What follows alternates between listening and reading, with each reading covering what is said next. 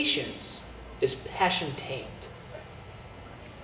I'm passionate about all these things my relationships with others, my professional boxing career, my scholastic endeavors, my career goals. I'm passionate about all these avenues of my life.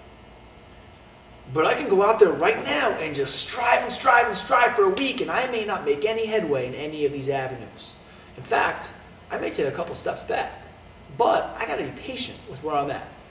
I gotta be patient that my passion will continue despite the setbacks, that I will keep making those positive strides towards my goals despite any adversity that I face. Patience is passion tamed, and that's the boxing ring. But that's not just life in the ring, that's life outside of the ring. That's seeing the big picture outside the squared circle.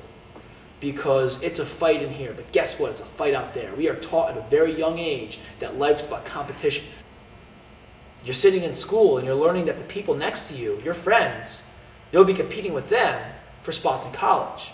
You're learning that you're going to compete with your coworkers for promotions.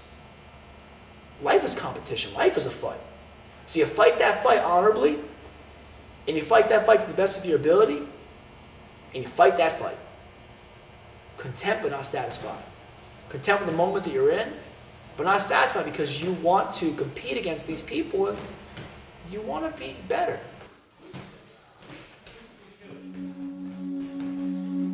Four weeks before the toughest fight of Javy's life, his grandfather passed away. His mother is now the only family he has. His real father, his biological father, abandoned him before he was even born. So for Javy, this was losing half of his entire family.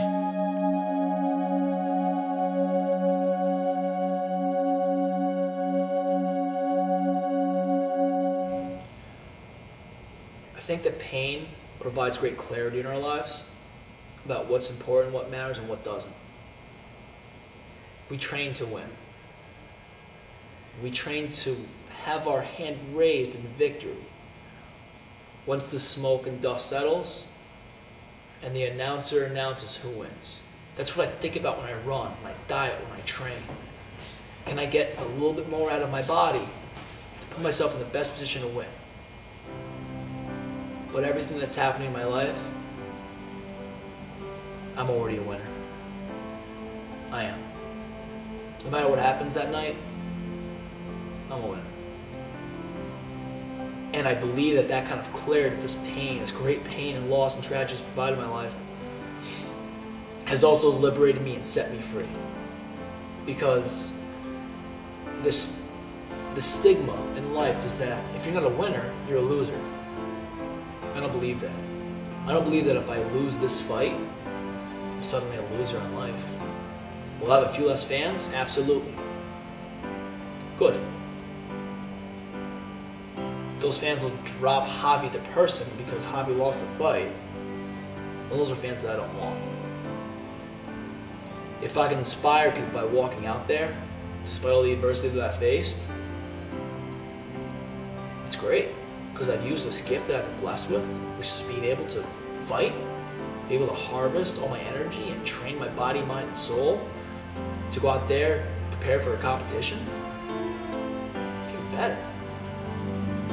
Matter what happens out there, win, lose, or draw, I won. I won. In boxing, you train yourself to win. But I find that you, I, I've learned that you find the most out about yourself when you lose. And I believe that the most important thing in life is love. I do. And love you give is love you get. Maybe not necessarily in the avenue that you want, but it's love nonetheless from someone else or somewhere else. My grandfather passed away. I was lost. My mother breaking down.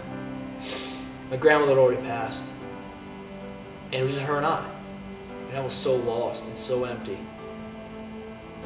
And I had these people show up to his funeral and wake. These people that held me, these people that when I collapsed, they were there for me. They held me up, they wiped my tears. That's love. And I want to walk out to the most violent experience I'm going to have in the sport.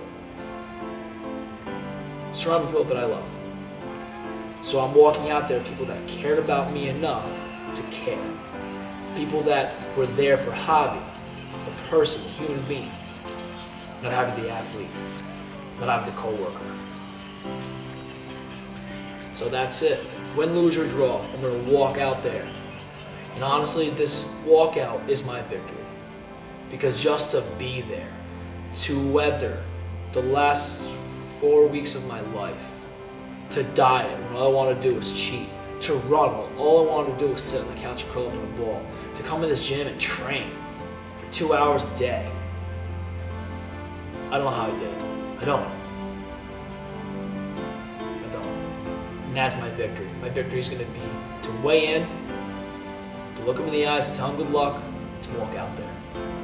That's my victory. That's my win. Everything else that happens in that ring is irrelevant.